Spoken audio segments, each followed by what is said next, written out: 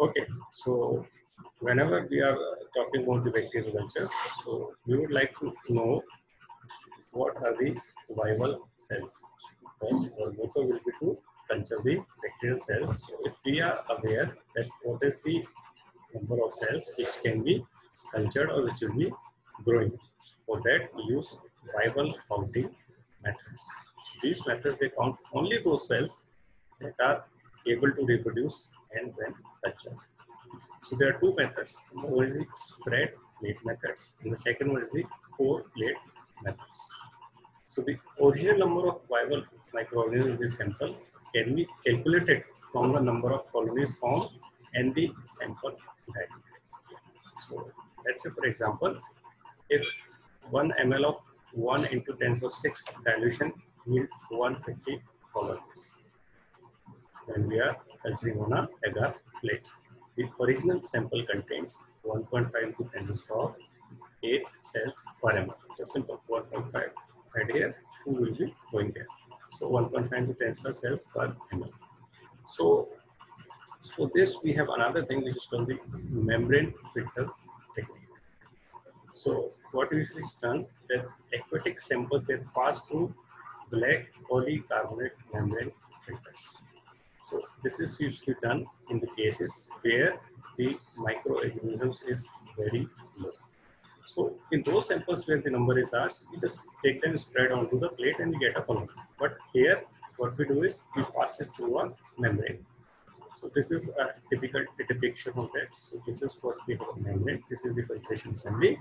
So one add that sample onto the top and this is passed through this particular assembly. So this particular membrane is then taken off and now this membrane has a concentration of those microorganisms. So, so what we do is add, we take those microorganisms, this attached to the surface of this membrane and put it on the agar plate and incubate it for 24 hours. So we see typical organisms. So this is a typical representation of a couple of colonies. So these are the colonies which are growing on a standard nutrient media. And these are on the fecal coliform media and these are on the pot agar for culture of yeast and mold. So now one can see that on different media, the same sample was filtered and put onto different media, we see growth of different microorganisms. So it means that in that particular sample, in that particular water, there was mixture of different kind of microorganisms. And now, if we want to have pure culture, we can just pick up any of these small points, small colonies, and add it to a fresh media. So there will be doubling, and then we get pure cultures. So there are a couple of advantages associated with the plating techniques. They are simple, sensitive, and widely used for viable counting of bacteria. So both the pour plate and the another one that spread plate. So these two techniques they can be easily used. So usually these kind of techniques they are used for food, water, and soil samples. So it's a little easy to get the sample and just pour it. However, so low counts will result if clump of cells are not broken and the microorganisms they are not well dispersed. So this is one drawback of this technique, plating technique. Why? Because if there is clumps of the bacterium, they'll just grow as single colony. So if those clumps are not broken, then we will not get the exact colonies. So what we need to is do is that we need to break those those clumping of bacteria. So since it is not possible to be certain that each colony will form a individual cell. So usually we are just taking samples. We are not all the time visualizing under the microscope or you cannot make it sure that those microorganisms are separated. And those colonies which are arising from those are from only a single cell. So now we use a, another term which is called the colony forming unit. In short, we call CFUs. So in place of giving the number of bacteria, we say these are the colony forming units. So a sample should have between 30 to 300 colonies for most accurate count. So there is another problem, problem with this pour plate technique that if you are using hot agar, so it may injure or kill the sensitive cells. So remember this agar it can be heated up to 90 degrees. So when it is heated to 90 degrees and you're pouring it, so it is quite possible that those bacteria which are into or if you know added to that particular media may die. So now is the second approach that is the measurement of cell mass. So direct approach is the determination of microbial dry weight. Now there's a problem with the microbial dry weight is that it's a little bit difficult to get. So what we have to do, we have to do a couple of studies, a couple of experiments before getting the bacterial weight. This is really small, this is micro and milligram.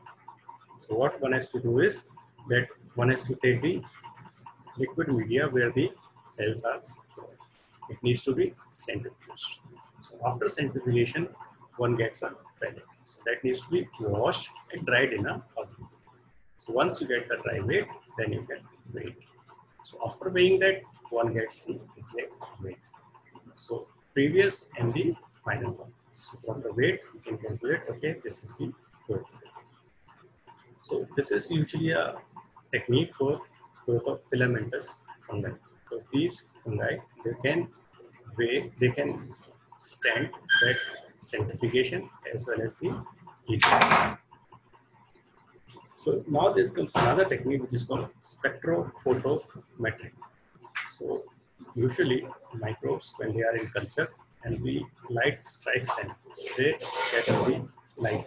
So the amount of scattering is directly proportional to the biomass of cells present and indirectly related to the cell number. So let's say if we have a concentration of bacteria that reaches 10 raised to power 6 cells per ml, the medium appears slightly cloudy or purple. Initially, the medium is clear and population is about a million, it is cloudy or purple. So now if we take the absorbance, then we can differentiate from the initial and the final one. Now, one thing that one needs to remember is that absorbance has to be less than 0.5. Then we get the linearity. If it is more than 0.5, then there's a problem. Linearity goes. So now we come to another thing. So we call it continuous culture system.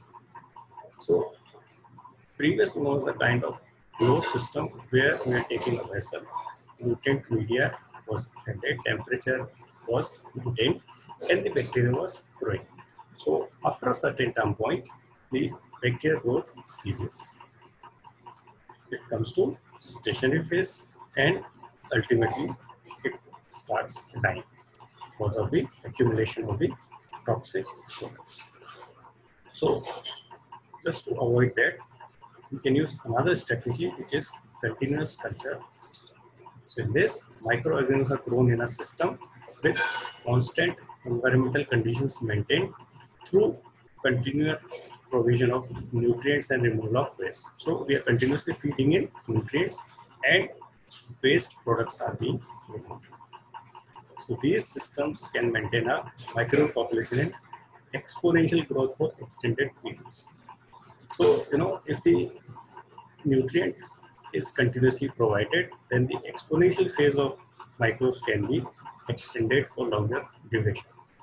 So ultimately, you know, the temperature, the availability of nutrients is provided, so the bacteria will keep on growing. And also the toxic product is removed. So this kind of continuous culture, they are using food and industrial microbiology. So now we can have two major types of continuous culture system. Number one is the chemostat, another is the turbidostats. So this is a typical construction of a chemostat. So there is a big jar, there is a fresh media. So that is via control valve attached to the culture vessel. So from here you can control the flow rate of the fresh medium. And then we have the inlet for the air supply also. So that air supply tube is dipped into the culture medium. And as and when required, the air supply is taken. So we have an air outlet also. And this tube is connected to a overflow receptacle also.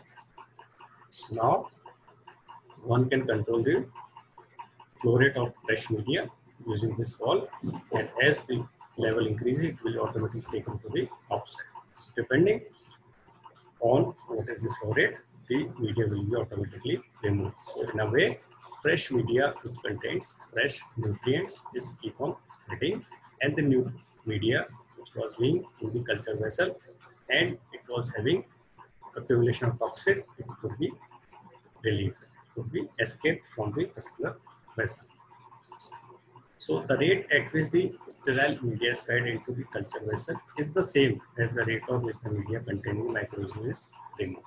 So depending on this, how much is added, this will automatically be taken off. So the growth is determined by the rate at which new medium is fed into the growth chamber. So this D is the dilution rate, F is the flow rate, and B is the vessel volume.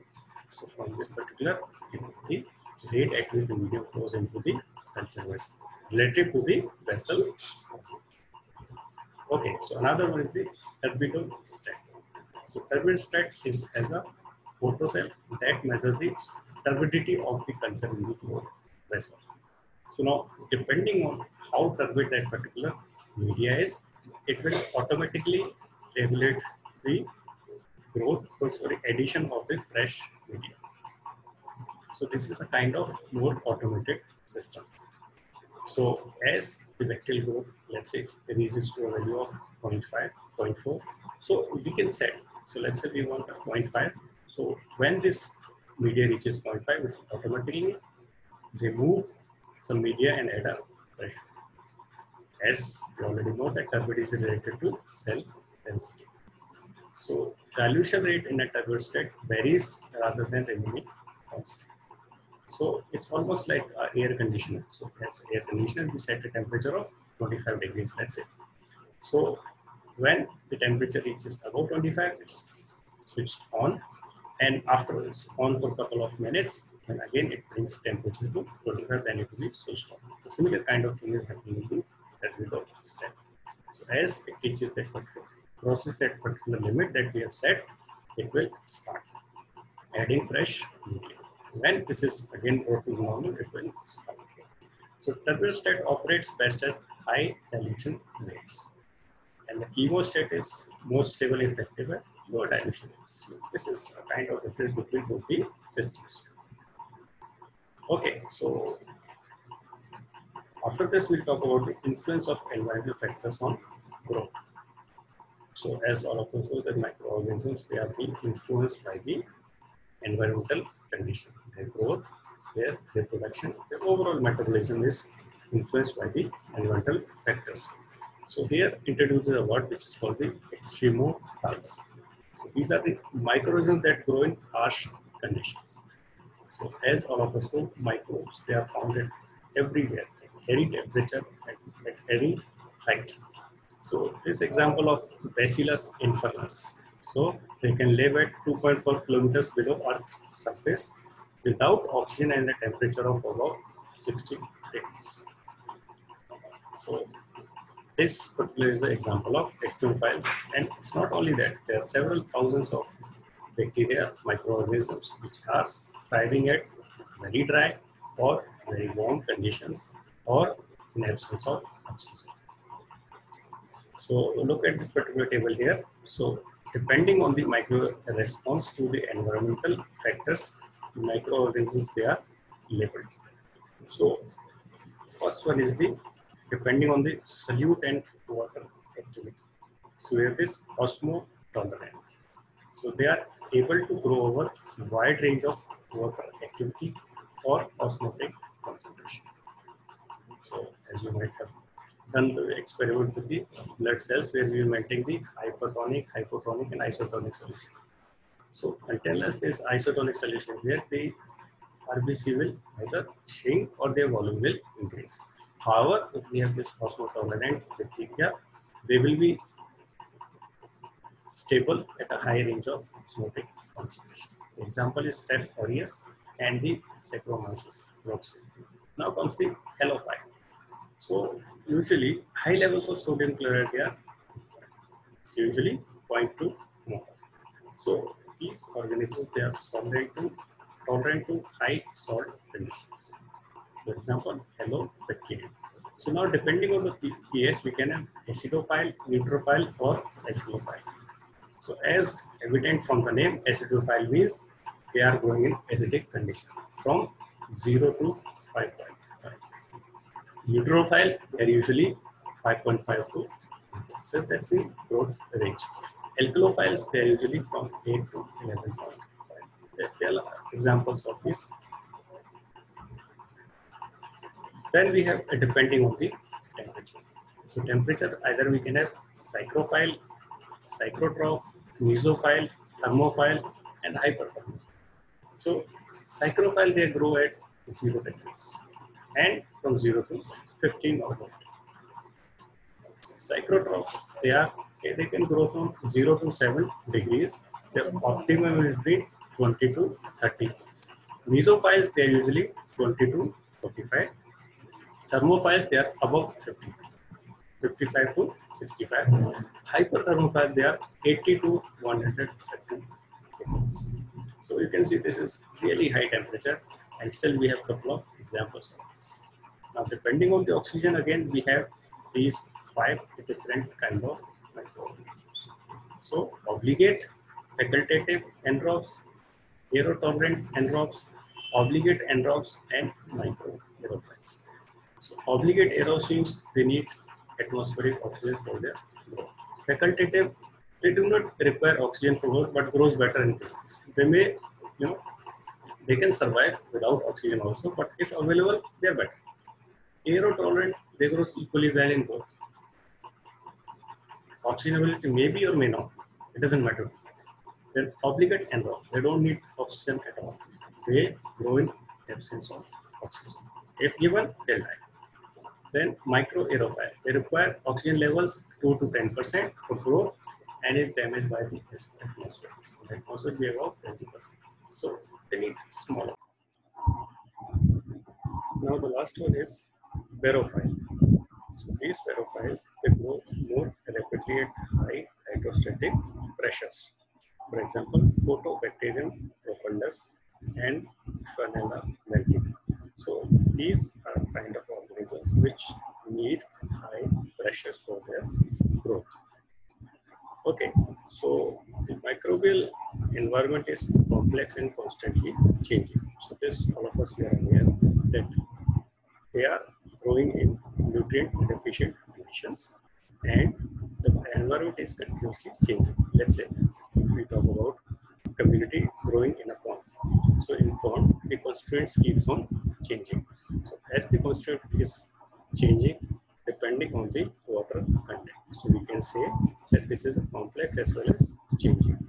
So it often contains low nutrient conditions and expose microbes to many overlapping gradients of nutrients and other environmental factors.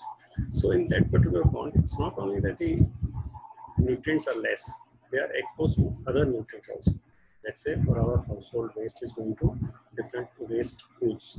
So different ponds and those kind of collection water bodies they are formed. So in those water bodies, there are microorganisms which are getting nutrient deficient as well as they're getting different kind of toxic chemicals as well growth of microorganisms depend on both the nutrient supply and their tolerance to the environmental condition. So they will have to not only thrive in the conditions which are nutrient deficient, but they also needs to survive those toxic environmental conditions. So both the availability of the nutrient as well as the toxic products, they are the rate limiting factors for their so they need to combat, they need to circumvent both the rate limiting factors. So now I would like to introduce another term which is called the biofilms. So biofilms, they are slime encased communities where microbes they are attached and they So biofilms, they are kind of ubiquitous in nature. You will find them everywhere. So the molecules, they usually form one the microorganisms, they form biofilms on virtually any surface. So once it has been conditioned by proteins and other molecules present in the environment. So let's say for example, different kind of joints replacement, they have metal contact. So those which are let's say the knee joint, so their ball and socket kind of joint is being replaced and that metal. Now different kind of bacteria, they could form a thin, layer onto that metal part. That is called the biofilm. We usually see that this biofilm is formed at different surfaces as well. So dental plaques, uh, different metal parts which are used in joints and all those. So this biofilm, why the organisms form biofilm? So organisms they form biofilm in order to survive. So what is biofilm is that microorganisms when they are growing, they release some exopolysaccharides. We call it EPS. So these exopolysaccharides, they form the mesh-like structure. So that mesh-like structure, it allows the binding of different microbes of the same community, of course. So those microbes, they bound to that surface and they start growing. And these membranes or these biofilms, they are virtually non-penetrable to the and even the antibiotics. So once a biofilm forms, the bacteria inside it, they are safe and sound. They are not killed by the water flow. They are not killed by the antibiotics. So you can see that this biofilm is a strategy that the bacteria or different kind of microorganisms had developed in order to in order to survive. So this is a typical representation of the mechanism of formation of biofilm. So let's have a look at this. So initially, the substrate of preconditioning of the ambient molecule. So let's say there is a surface where there could be attachment of some kind of proteins. So when there is some kind of proteins attachment, now there will be deposition of. So those bacteria will attach to the surface. They will kind of form a uniform layer. Now there are things that either they can keep on persisting or they can be dissolved. So let's say initially, you know, they could be dissolved just by let's say, let's say we talk about uh, any surfaces, metallic surfaces, dental plaques. So they could be kind of cleaned by brushing or using different kind of mouthwash. So those bacteria they will be cleaned off. And if not, then these bacteria they kind of secrete molecules. They are called as signaling molecules. They are kind of exopolysaccharides. So now these bacteria they kind of keep on secreting, and they will form the layer kind of. So there they'll form a connective and diffusive transport of oxygen nutrients. So there will be diffusion of nutrients in and out. They'll need the nutrient and toxic products will be diffused out. So they'll have a replication and growth, and there will be more and more secretion of these exopolysaccharides. And if it is too much, then there could be detachment or benefits. So in a way, this kind of, you know, initially there was just attachment of two bacteria, and now you can see there's a whole bunch of bacteria, whole thin layer, film kind of structure is. So that allows the bacteria to thrive. Even some of the antibiotics, they cannot penetrate. So the best strategy is to prevent those biofilm formation. So these kind of biofilm formation, they can be found on surfaces which are exposed to water. Let's say the surface of the ship, boats, or even the pipelines. So, and also in the body, different body organs. Even in teeth and those skin surfaces, they can be. So these bacteria, they keep on thriving, they keep on developing new and new strategies to survive. So this is all that I wanted to talk to in this particular topic. So thank you very much. And probably I'll stop for this slide share and